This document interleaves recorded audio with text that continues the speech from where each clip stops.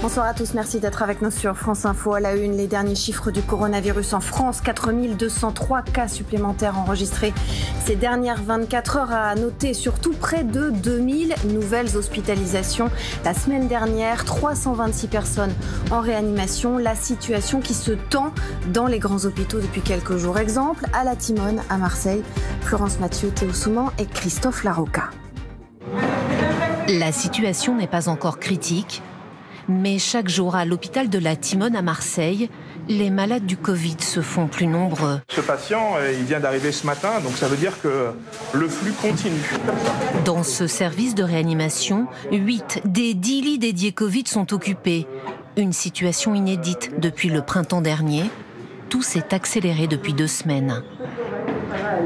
On le voit sur la courbe bleue qui est ici, une ascension exponentielle et très brutale. On avait un plateau sur tout juillet, tout août, et à partir du 15 août, on voit cette courbe qui commence à augmenter, puis depuis le 31 août, qui euh, vraiment devient de plus en plus pentue.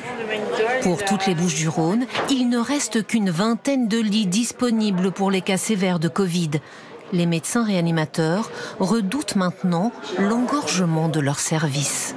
S'il faut monter encore, il n'y aura qu'une solution, hein, c'est de, diminuer les autres activités, en particulier l'activité chirurgicale ce qui évidemment pose des problèmes qui vont être euh, difficiles à résoudre. La marge de manœuvre est limitée, car actuellement l'activité hors Covid est très forte. Beaucoup de malades qui n'avaient pas pu être traités pendant le confinement sont arrivés à l'hôpital. Il faut nous aider à préserver des lits de réanimation pour tous les gens qui ont des accidents de circulation, qui sont opérés euh, de choses très graves, en cardiovasculaire, en oncologie, en cancérologie. Et le seul moyen de nous aider euh, de manière efficace, c'est de respecter les, les gestes barrières et d'avoir un minimum de bon sens.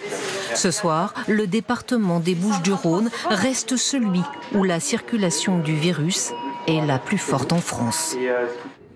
Et en Ile-de-France, le lycée Jean Rostand de Villepin est obligé de fermer après la découverte de deux cas positifs au coronavirus parmi le personnel. Les 1300 élèves vont donc devoir rester chez eux. Les équipes de direction et de vie scolaire, elles sont placées en quarantaine. Le rectorat tente de mettre en place une équipe de remplacement pour pouvoir rouvrir l'établissement dès que possible. L'actualité euh, à l'étranger, l'ambassadeur de Russie au Royaume-Uni convoqué aujourd'hui au ministère britannique des Affaires étrangères. Il lui a été demandé de s'expliquer sur l'empoisonnement d'Alexei Navalny, à Londres qui s'en mêle, hein, alors que l'opposant russe a été sorti du coma ce soir. Il est toujours hospitalisé à Berlin, en Allemagne.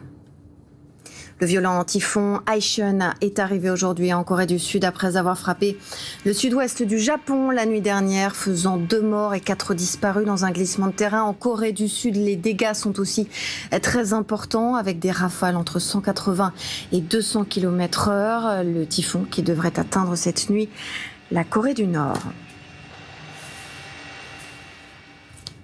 Voilà pour l'essentiel de l'actu. Restée avec nous sur France Info. À tout à l'heure.